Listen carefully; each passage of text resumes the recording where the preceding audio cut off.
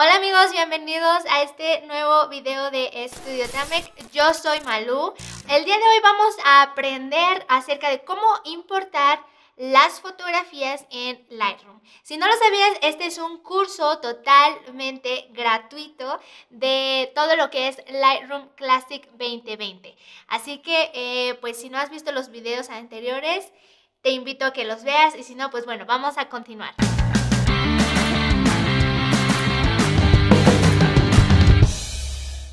Una vez abierto Lightroom se ve más o menos así, pero se ve así en mi caso porque yo ya lo he utilizado antes y yo ya tengo fotografías importadas aquí.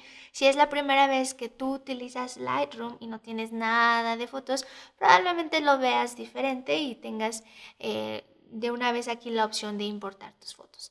Pero si no, bueno, se ve más o menos así y te voy a enseñar entonces cómo importar las fotos.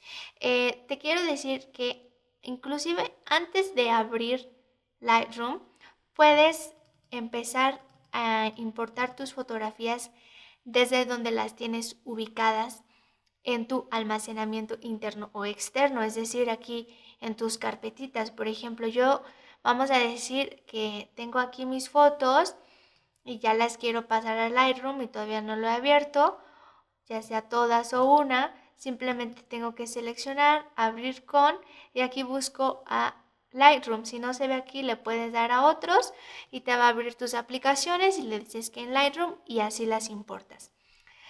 Pero si no, lo puedes hacer aquí desde Lightroom muy fácilmente. Miren, aquí está la opción de importar. Está en esta parte de abajito a la izquierda y bueno, vamos a darle importar para que veas de lo que te estoy hablando. Fíjate que aquí en la parte de arriba nos vamos a dar cuenta que hay varias opciones de importación. La primera opción es copiar como DNG. DNG es un tipo de archivo muy similar o como el formato RAW ya conocemos. Solo que este DNG es como que más universal. Sabes que dependiendo si usas Nikon, Sony, Canon, se llaman diferente, ¿no? Como archivo .arw, por ejemplo, ¿no? Para la Sony. O .nef para Nikon, ¿no?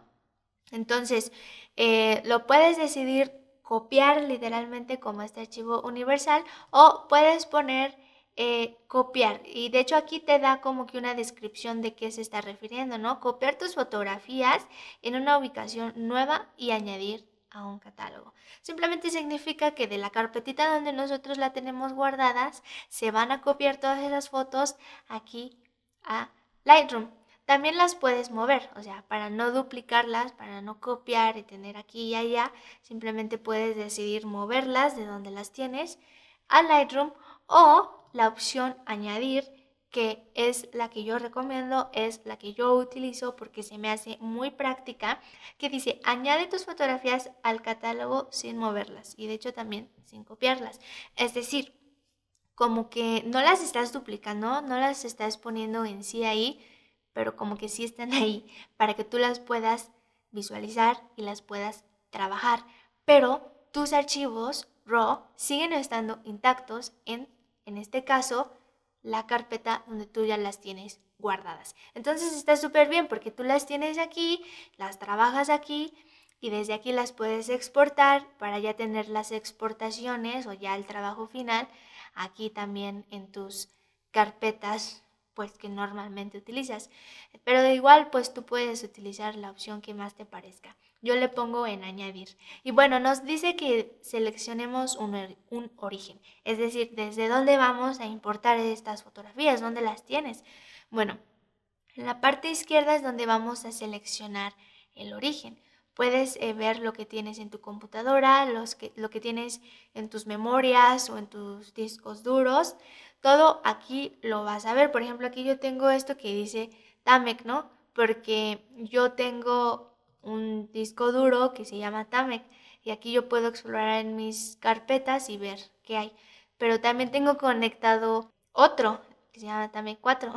Entonces, pues ahí yo también puedo checar eh, lo que tengo ahí, ¿no? Aquí yo voy a ver absolutamente todo. Bueno, vamos a ver desde dónde vamos a importar nuestras fotografías. Bien, entonces yo ya seleccioné la carpetita desde donde quiero importar mis fotografías, ¿verdad?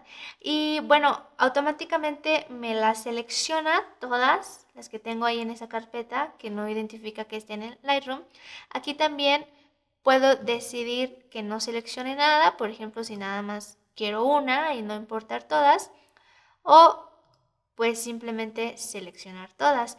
De hecho, también si las selecciono con la barra espaciadora, Puedo irme moviendo con las flechitas de mi teclado y con la barra espaciadora decidir cuál se va a importar y cuál no. Es una forma pues fácil de trabajar. De hecho, em, ahorita yo tengo mis, mis previsualizaciones, mis miniaturas de las fotografías a muy buen tamaño, las puedo ver bien, pero fíjate que aquí en esta parte tú lo puedes modificar para verlas más grandes o para verlas más chiquitas, ¿no? Entonces, pues está padre porque así tú puedes ya ver bien qué fotografía estás importando y cuál no.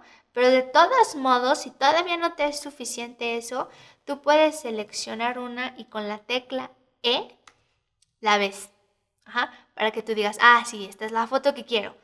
¿No? Y aquí la puedes incluir o no incluir en la importación y con la tecla G regresas aquí a ver todas las demás. Como yo quiero importar todas, pues sí la voy a seleccionar. Y pues miren, aquí sigue estando seleccionar todo, deseleccionar todo. Y de hecho aquí también es una manera, ¿no? Que es lo mismo como poner la tecla E y aquí poner la tecla G. De hecho, aquí si pasamos el, el mouse, nos dice eso, ¿no? Bueno, eh, por esta parte de seleccionar las fotografías, pues ya. Ahora aquí en la parte derecha vamos a tener pues otros settings, otras configuraciones que podemos hacer al momento de importar nuestras fotos. Mira, dice crear previsualizaciones y aquí te da varias opciones. ¿Qué es esto? Bueno, recuerda que los archivos son súper pesados. O sea, cuando trabajamos con fotografías RAW, que es lo mejor, los fotógrafos sabemos que es siempre súper bueno trabajar con fotografías RAW para tener toda la calidad y toda la información en nuestras fotografías. Son archivos muy pesados y pueden llegar a ser lento el programa o lento nuestro flujo de trabajo, pues porque están muy pesados. Entonces Lightroom te da esta opción de que tú puedas trabajar con previsualizaciones que no contengan en sí toda esa información. No es que le va a quitar información a tu fotografía y se va a hacer eh, con menos calidad. No, no, no, no, no. Solamente la previsualización, lo que tú estás viendo, no el archivo en sí. Entonces está súper padre porque puedes trabajar de una forma más rápida. Es decir, como que si tus fotografías pesaran menos, pero en realidad no pesan menos, ¿sabes? Solo las estás viendo así. Entonces está padre. Mira, te voy a explicar. Este de mínima te va a comprimir hasta 75%. Entonces, pues sí, es la mínima. Incrustada y archivo sidecar, que es la que yo tengo, es con la que me gusta trabajar, está al 50%. Y la verdad es que está súper bien. O sea, tú sí ves la imagen y podrás decir, bueno, como que le falta tantita calidad, pero no se ve así de que, oh, está pixelada. O sea, no, se ve muy bien, se ve muy bien y trabajas rápido. Entonces, yo tengo ese y me gusta. Estándar es a un 25% y este de 1 a 1, pues es sin quitarle nada, o sea, es trabajar en directo, 100% lo que es tu fotografía, todo, toda, toda la información.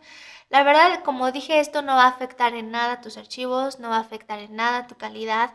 Tú las vas a seguir exportando con toda la calidad que le quieras poner a tu exportación. Lo, únicamente, lo que únicamente hace esto es que puedas trabajar más rápido, puedas visualizarlas con una menor calidad, pues para verlas y trabajar más rápido. De hecho, esta opción de aquí también está padre porque dice no importar supuestos duplicados, porque a veces em, ya importamos nuestras fotos, ya están aquí en Lightroom y luego se nos olvida y las queremos volver a importar, pero ya están aquí. Entonces, eh, cuando le pones esta opción de no importar supuestos duplicados, vamos a decir, por ejemplo, esta fotografía ya estaba, pues ya no te va a dar la opción de ponerla porque ya está ahí. Entonces, está súper padre. Luego, también puedes eh, realizar copias, o sea, un backup, un respaldo. También está padre. O inclusive puedes añadir a una colección. Más adelante vamos a ver un poquito más de qué es esto de las colecciones en Lightroom. Pero eh, para hacerlo rápido, pues una colección es como que un, un, espacio que ahí tú tienes para clasificar y organizar tus fotografías, ¿ok? Entonces, por ejemplo, aquí yo tengo, ¿no? Que 15 años, o una que yo decidí llamar Malum, una que yo decidí llamar parejas, ¿no? Pues, no sé, si tú haces fotografía de moda, pues puedes poner aquí una. Aquí están las de fotografías de moda, aquí están las de retrato, aquí están las familiares. Y está padre porque así pues te puedes organizar, ¿no? Por ejemplo, yo puedo decir, toda esta sesión de fotos que hice, pues fue eh, de parejas. Y le digo, añádela a esa colección, por favor. Y ya más adelante puedo ver todas mis fotos de pareja. Entonces está súper padre. O puedes pues no añadir a ninguna colección, ¿no? ¿Y qué más? Pues tienes otros eh, ajustes aquí. Dice ajustes de revelado. ¿Qué es esto? Eh, son los famosos presets que como te digo más adelante vamos a ver un poquito más de qué se trata esto, pero básicamente es que yo ya importe mis fotografías con alguna cierta edición, ¿no? Por ejemplo, aquí me dice blanco y negro. Entonces yo le puedo poner que ya me las edite todas eh, a un blanco y negro y ya me las importe así a un blanco y negro y ya después yo las trabajé individualmente. Nunca lo hago porque no me gusta eh, hacerlo así, porque es como un un pre-revelado, como una pre-editación, o sea, como antes de editar le pones esto. Y yo prefiero editar todo así, ya, ya que están ahí. Entonces, pues la verdad es que yo lo dejo en ninguno. El otro es metadatos. Y metadatos está muy interesante, está muy padre. Miren, les voy a enseñar. Eh, aquí te va a dar más opciones. Yo no tengo nada porque no he hecho ninguno. Ahorita voy a hacer uno con ustedes. Pero si ya has creado unos, aquí van a estar. Y bueno, Vamos a, darle a nuevo para que vean de lo que estoy hablando. Aquí tú puedes meter un montón de información a tus fotografías. Está súper padre esto de los metadatos. Porque, eh, por ejemplo, aquí tú puedes poner tu copyright, ¿no? Y ya tus fotografías pues van a tener esa información de tu copyright. Por ejemplo, aquí yo puedo poner mi nombre, ¿no? Puedo poner Malú y pues por el copyright puedo poner todos los derechos reservados, ¿no? Por ejemplo. Y aquí también puedes poner si con copyright o con dominio, público. Y puedes poner, dice URL de pues, la información del copyright. O sea, puedes poner ahí tu página web, ¿no? Yo voy a poner pues mi página web, malu.com.mx. Y aquí también tú puedes, puedes poner tu, información, ¿no? Yo soy Malú, puedes poner aquí soy de la Ciudad de México. Y aquí en esta parte, pues tú puedes poner igual tu correo electrónico.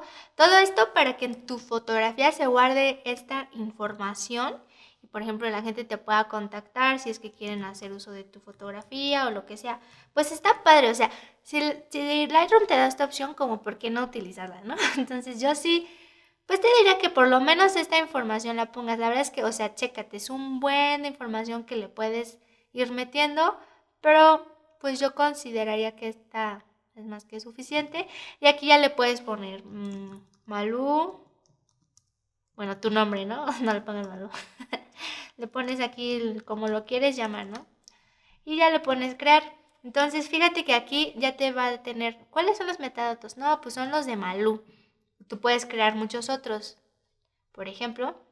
Y esto no lo tienes que poner en cada vez, o sea, ya cuando estés importando tus fotos, pues ya ah, que tengan el copyright de Malú, ¿no? Y ya no tienes que poner toda la información todas las veces, pues ya están ahí. También puedes poner palabras clave como, no sé, bodas, lo que sea, ¿no? Dependiendo de lo que estés haciendo, pues ya. Básicamente esta es la importación. Ajá. Entonces yo ya lo voy a poner importar y aquí se va a ver viendo en esta parte cómo pues están empezando a importar mis archivos. Aquí también me dice importando archivos y pues ya los voy a tener yo aquí en mi biblioteca. Estamos en la parte de biblioteca, ¿ok?